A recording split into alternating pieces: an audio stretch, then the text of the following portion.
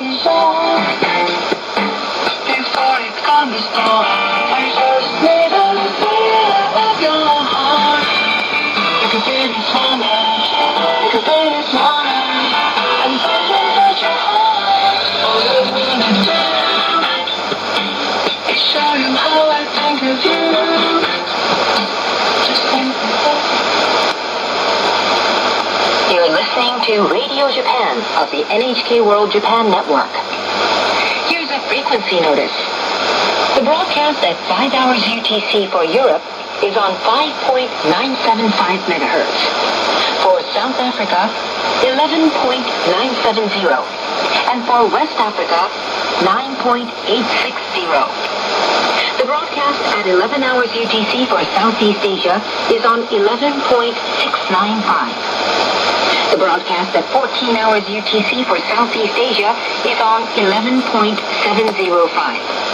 And the broadcast for Southwest Asia, 11.935. We are always pleased to receive your comments and suggestions via mail or through our website at nhk.jp/rj.